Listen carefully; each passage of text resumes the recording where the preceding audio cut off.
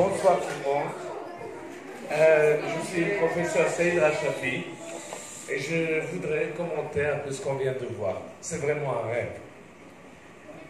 Les humains, depuis leur chambre, leur maison, leur quartier, leur ville, leur euh, continent, leur planète, la Terre, vers la Lune, vers le Soleil, vers la planète Mars, vers d'autres galaxies, l'homme n'a cessé de découvrir l'espace ou l'espace-temps qui nous entoure. Dans les images que nous avons vues, nous avons vu les images, la, vidéo quand l'homme a marché sur la.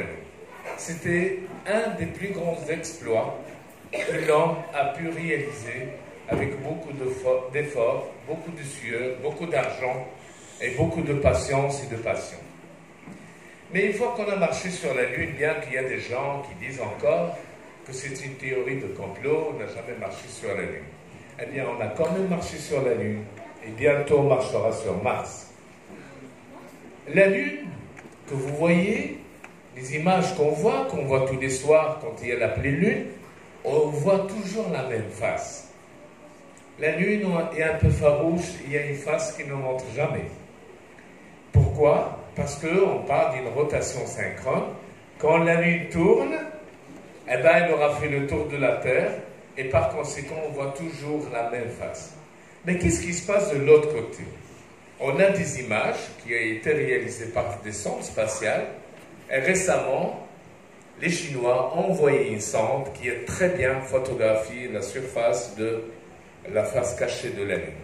Elle est criblée de cratères parce que cette face a reçu beaucoup d'impacts de météores, qui sont devenus des météorites plus tard, et je peux vous dire que la Lune nous a un peu sauvé la vie. Si la Lune n'était pas là, tous les impacts qu'on voit sur la face cachée auraient été sur Terre, et peut-être qu'on ne serait pas là en train d'en parler.